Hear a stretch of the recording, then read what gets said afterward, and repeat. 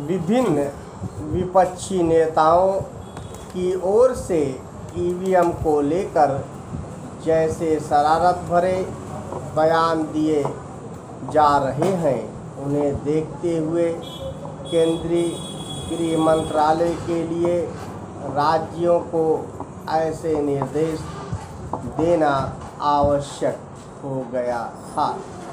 कि मतगणना के वक्त कहीं पर किसी तरह की हिंसा न होने पाए। मतगणना के दौरान हिंसा का अंदेशा इसलिए उभर आया है क्योंकि कई विपक्षी नेता खुलेआम उत्पात मचाने की धमकियाँ दे रहे हैं। केंद्र में मंत्री रहे राष्ट्रीय लोक समता पार्टी के नेता उपेंद्र कुशवाहा ने एग्जिट पोल के आंकड़ों को चुनाव नतीजों को प्रभावित करने की साजिश करार देते हुए खून की नदियाँ बहाने की बात की। तो ईवीएम के खिलाफ भ्रष्टाचार करते रहे आम आदमी पार्टी के एक नेता ने कहा कि चुनाव आयोग दंगे कराने और देश को गृह युद्ध में ढकेलने का काम कर रहा है। इसकी भी अनदेखी न करें कि ऐसे बेजा बयानों के बीच ईवीएम को संदिग्ध बताने का सिलसिला कायम है। ईवीएम के खिलाफ माहौल बनाने के लिए पहले चुनाव आयोग के समझ वीज़ा मांगे रखी जाती हैं और फिर उन्हें ठुकराए जाने पर अन्याय होने का शोर मचाया जाता है। चिंताजनक यह है कि यह काम बड़े नेता भी करने में लगे हुए हैं। वे एग्जिट पोल को तो किसी साजिश का हिस्सा बता ही रहे हैं। यह भी रेखांकित कर रहे हैं कि ईवीएम अब भरोसेमंद नहीं रह गई है।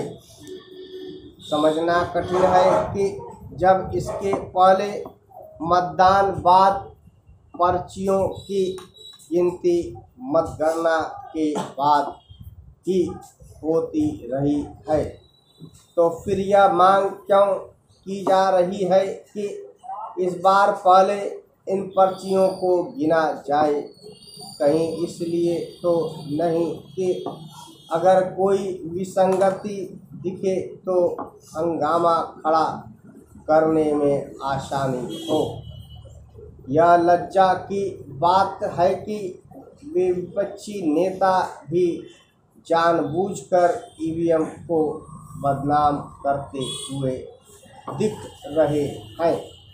जो इसी मशीन के सहारे अतीत में सत्ता हासिल कर चुके हैं। वे ऐसा तब कर रहे हैं जब बीते कुछ वर्षों में ईवीएम को और अधिक विश्वसनीय बनाने का काम किया गया है। हार जीत चुनाव प्रक्रिया का एक हिस्सा है, लेकिन यह पहली बार है जब हार की आशंका से ईवीएम और चुनाव आयोग के साथ भारतीय लोकतंत्र को बदनाम करने का काम सुनियोजित तरीके से किया जा रहा है। ईवीएम विरोधी अभियान को टूल दे रहे नेता अपने प्रलाप से देश को नीचा दिखाने के साथ ही मतदाताओं का भी निरादर करने में लगे हुए हैं।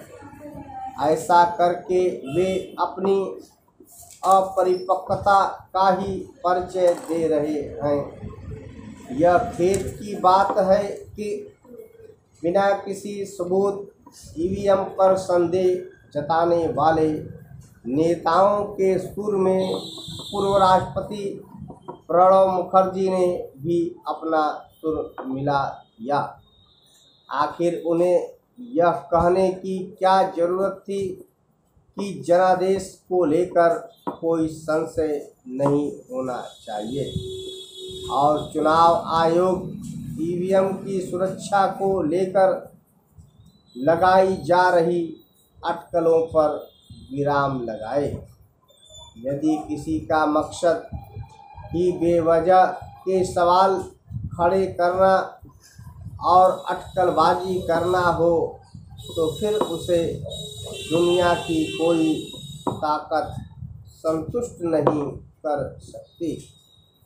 अच्छा होता कि पूर्व राष्ट्रपति रुदन कर रहे विपक्षी को हिदायत देना बेहतर समझते हो?